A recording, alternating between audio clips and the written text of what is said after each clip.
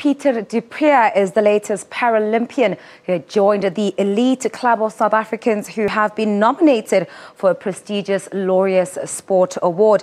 Now, du Preez has already rewritten the history books, having become the first quadriplegic ever to complete an Ironman challenge for able-bodied athletes. du Preez broke his neck in a cycling accident almost 13 years ago, leaving him with only 15% of the muscle function of an able-bodied person. A C6 quadriplegic, he can move only his head, shoulders and arms, but that didn't deter courageous du Preez from following his dream of being a triathlete.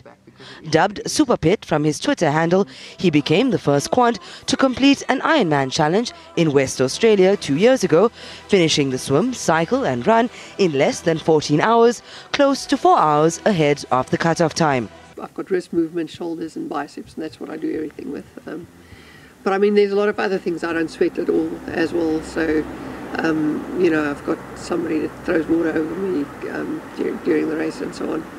Um, you know, in the swim, I can't cough and those other things is dangerous. I mean, there's lots of challenges. And then, I mean, also as a spinal cord injured person, you don't have control over bowel and bladder and those type of things. So, all of those things during the days are things that you are, you know, have as extra challenges over and above just finishing such a, you know, tough event as Ironman triathlon. 2015, however, was his breakthrough year. He won gold medals in the time trial and road race at the Paracycling World Championships and finished the season first on the world rankings. In wheelchair competition, the 35-year-old broke the 10,000 meter world record and set new African records in the 200 and 1,500 meters. And he's been humbled by his nomination. That for me is, you know, probably one of the most special moments in my life when I when I heard I, I got a nomination for Laureus Sport Award. Because the big thing is, you know, everybody always sees me as this big inspiration, which is really awesome for me um, that I can inspire people in such a way. But I think they sometimes overlook um, the fact that you're actually a really impressive athlete. You're, you know, uh, you know, as a quadriplegic, I think our great performances are often overlooked and just seen as inspirational.